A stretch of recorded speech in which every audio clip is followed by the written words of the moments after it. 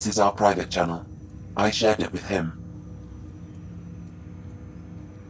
He never mentioned anything about that. It allowed me to know him better.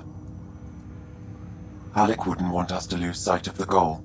He said pain emboldens our resolve. He'd insist we grow stronger from his passing.